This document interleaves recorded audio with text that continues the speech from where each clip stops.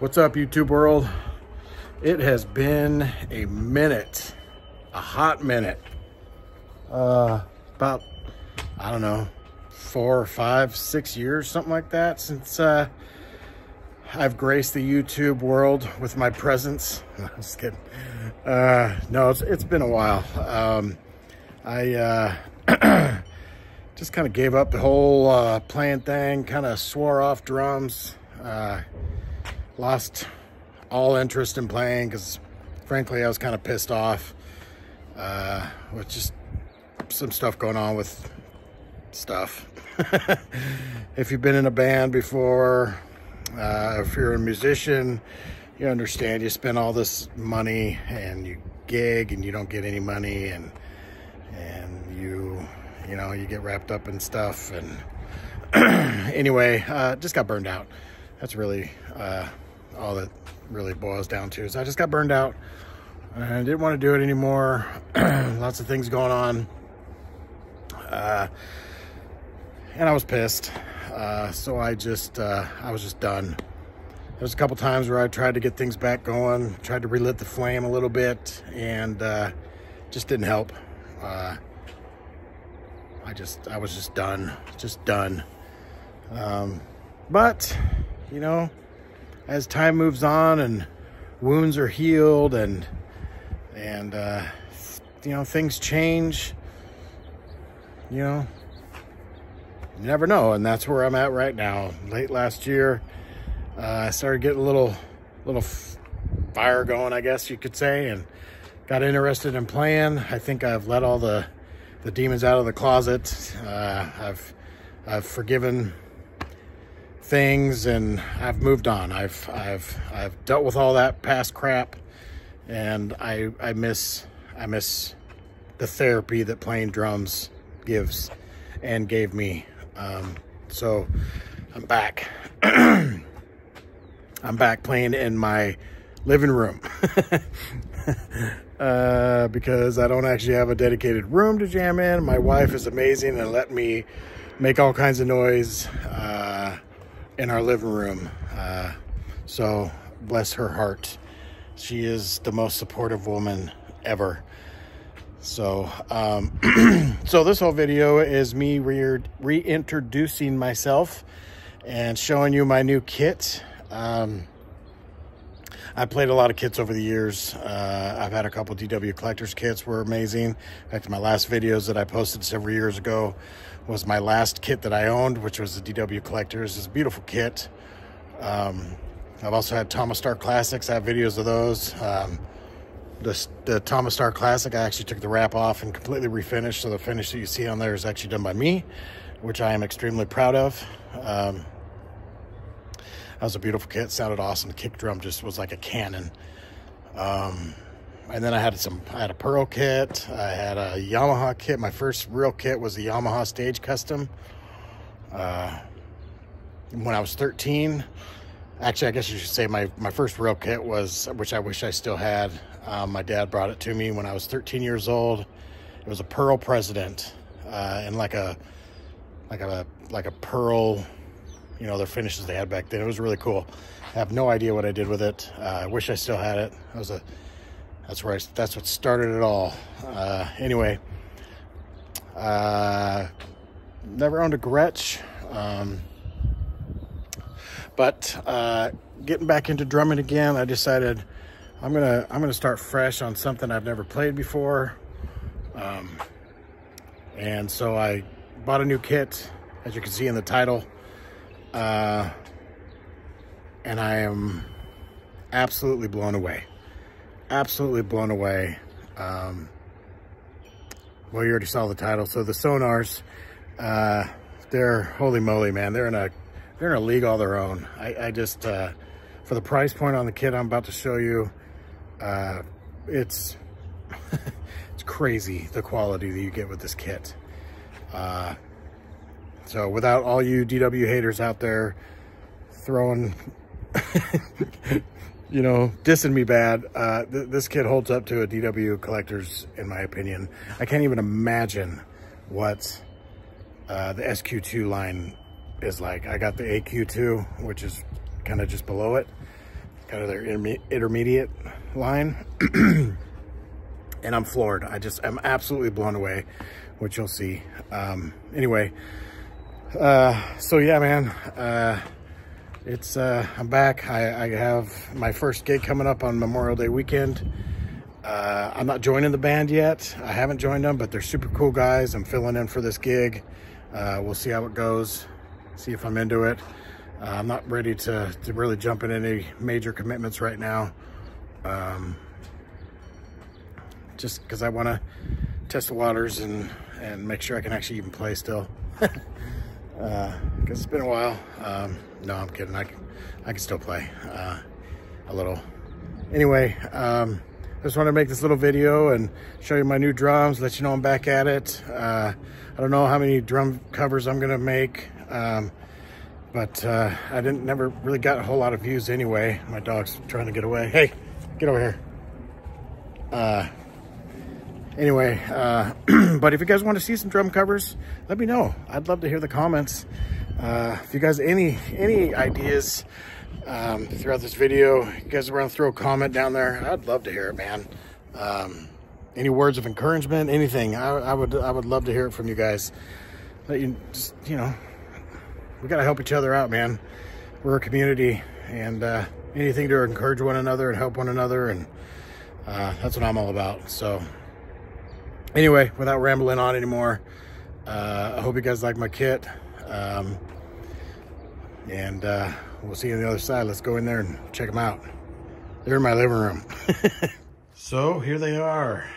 They are the Sonors and they are the AQ2 with the white marine pearl wrap. And I got to tell you, man, these things, like I said, I played several different kinds of drums and these bad boys they just sing super easy to tune and they are just amazing. They're, they're absolutely amazing. Such a huge bang for your buck on these things. Um, as of right now, best drums I've played. Hands down, I will not even argue. I know you DW guys out there are probably gonna say you're an idiot, but I'm telling you, tune these suckers up, sit down and play them, and you're gonna feel the same way. I'm not even kidding. And I'm about as picky as they come. So anyway, uh, the kit size, uh, it's a five piece, uh, came with a snare. I'm not using the 12 inch or the snare right now. Uh, in fact, actually, I'm trying to figure out how to add that 12 inch into the mix while still keeping my four piece setup. So I don't know, I put it over there or put it back, back there or somewhere. So if you guys have an idea, throw it in the comments because I'd love to hear it because I'm kind of running out of ideas. Um, but I want to keep it as that kind of layout right there. Um, single rack. Uh, so anyway, uh, so 14 by six and a half snare drum, uh, 10 by six and a half uh, rack tom, 12 by eight second rack tom. Uh, the floor tom is a 14 by 13, which we'll go around and see that here in a minute. And then my favorite of all kick drum sizes, 20 by 16. That little sucker right there throttles, shakes my entire house, and I am not exaggerating. That little kick drum pummels. It is so nice. Uh, so yeah, that's the kit. Um, just getting a little closer up to it. I mean, it's just, it's so classy. The mounting system is, is just rad. Uh, this actually goes in and out, so you have even more positioning uh, options. Um, it's got locks. It's, it's, it's just so, I mean, they, Sonor really, I would love to see what an SQ2 kit looks like. Cause I mean, this, I'm so impressed by this. I, I don't know what I, I don't know if I could handle a SQ2 cause those are, they're top of the line, amazing kits. Um, but anyway, this is like, thick metal and it sits on rubber so it never even touches the shell or anything. It's almost like it just floats. There's no pressure on the lugs or, or the hoops or anything, which is super nice. I modified one of my DW stands so I could mount my ride. Uh, so that kind of worked out really nice. Um, I use all DW hardware. Everything on here is DW. Um, uh, in fact, actually, this stand here is one I just got. Uh, this is actually a DW 3000. This is one of their newer stands. And I got to tell you, man, this thing is, um, it's awesome. And for $99, good luck finding one any better. This thing is so sick. It's such a nice stand. Uh, and it even has the uh, the handle. I mean, just like you see, it's got a push button up here on the top. You can push it and pull this right off. It's just a, it's a, it's an awesome stand.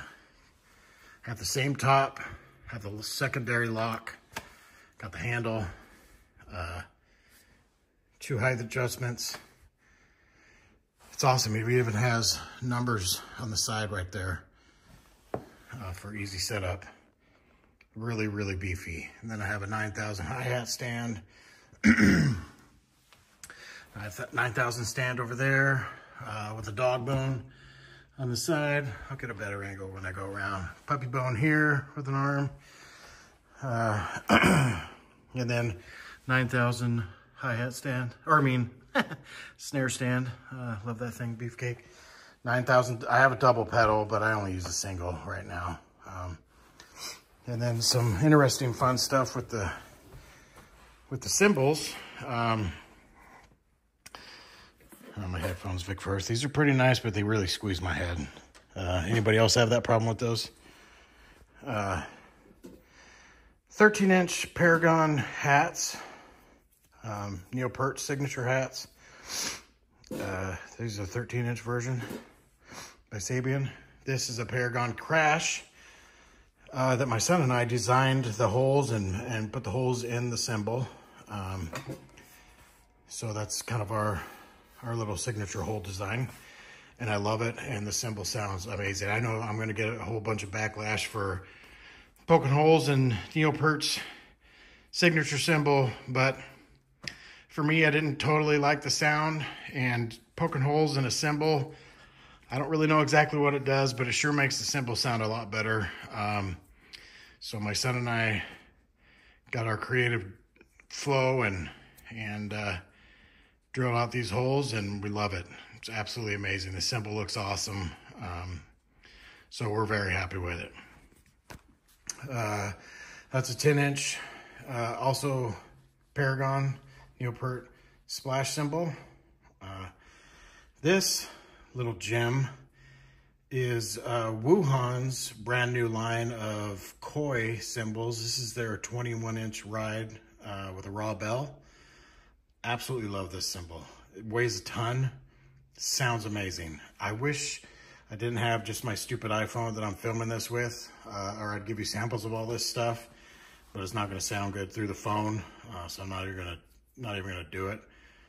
Uh, but I, I absolutely promise you, it's, it's so nice. Great stick definition, awesome bell. Uh, you can crash it. It's got a nice washy crash to it. Um, it's it's a fantastic cymbal.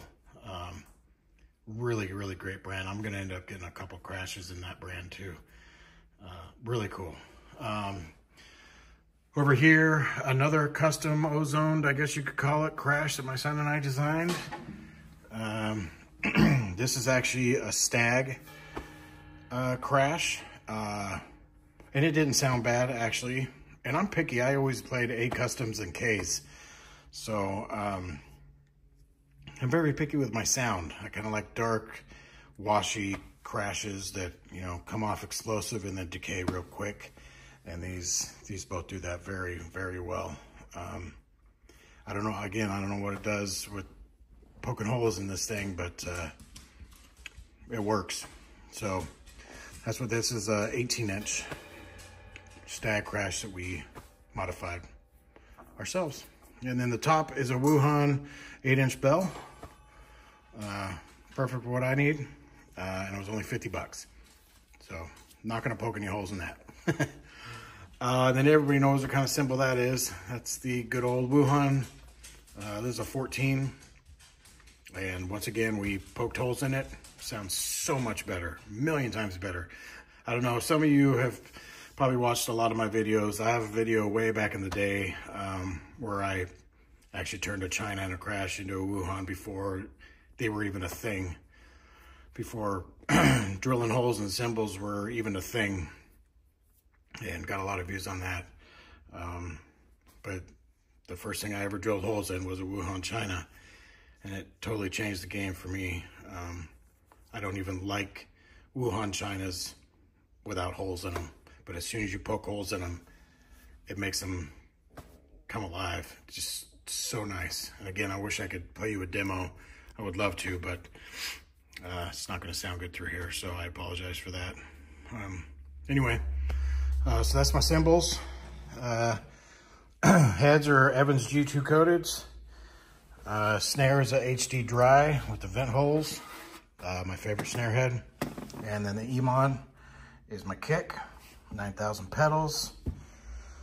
Uh, not really much else to say. Um, right now, I've been always, I've always used Buddy Rich sticks, but, uh, excuse me, I grabbed a pair of these and they just absolutely felt fantastic in my hand. I don't know, they're a little longer too, so the link's a little bit longer, um, but they just feel great. However, uh, I just grabbed a pair of Danny Carey sticks and holy crap, those are those are like a game changer. Um, so I'll be uh, getting a couple pairs of those and really putting those through the rigors and see see which ones I like the most. And then I also have uh, I have some of these, but I haven't really used them on anything else on this kit. Um, but these snare weights, uh, these things are sick. Uh, so nice. They look good. Uh, they're discreet. You can get them in this size and then the M80s, which are a little bit longer. I'll show you on my snare over there. I have it on that. Um, and you can get them in white and black. So, uh, worth the money. Really, really cool. Uh, there's dog bone, more DW stuff. Uh, oh, and then my snare. My main snare that I'm using is the uh, I'm sorry, guys. I'm trying to limited space. Uh, my snare, snare. Oh my God, I can't talk. My snare. Most of you probably know what this is. SLP by Tama, 13 by 7. Um, I actually have videos back in the day that I posted. I did a little drum solo thingy video um, that I have this in. Uh, this snare is a beast. I absolutely love this snare. You can tune this any way you want to, and it just says, yeah. It just, it loves it. Um, I crank him up a little bit. I crank up the bottom head quite a bit. And then the top head, uh, depending on what I'm playing, normally is just a tad bit above like a medium. And it just gives you that fat, cracky pop. And then if I'm playing more, uh, I don't know, more bluesy stuff or something, I'll crank the top head up even more and get that really tight pop. That just sounds awesome. but the snare is fantastic. Uh, especially when you put a dry on, dry head on uh, from Evans. It's just a, it's a match made in heaven. Really, really awesome snare. Looks beautiful. Built like a tank. Uh, die cast hoops. Um, really nice snare. And for the money, it's it's pretty awesome. Um, and I have a little have a little snare weight on that guy too. Um, just a little bit. So, uh, so the snares that actually came with this kit are pretty awesome too. This snare is beefy. Uh, awesome hoops. Uh, not a bad throw off. Butt plates, you know, generic and basic, but uh, the lugs are awesome looking. throw off is pretty cool. Uh, real smooth. Nice adjustment. Uh, I put some pure sounds on here. Haven't really done much with it because I wasn't gonna, I'm not gonna probably use it all that much. It sounds really good. Um, I'm just not really into 14 inch snare drums. So, uh, but yeah, a little closer look on that mounting hardware. It's sick looking. Not only does it look cool, it's pretty thick uh, and just just works. You can get in there and see this is laying on rubber. Pretty awesome. Uh, anyway, guys, that's it. Uh, that's my new baby sitting in my living room thanks to my wife. anyway, it's been awesome chatting with you guys. Thanks for checking out my video, especially if you made it this long. I know it's a long one. I appreciate it. If you guys have any questions, comments, ideas, anything, I'd love a comment down there. Uh, other than that, we'll see you soon. Uh, thanks, guys. Peace out.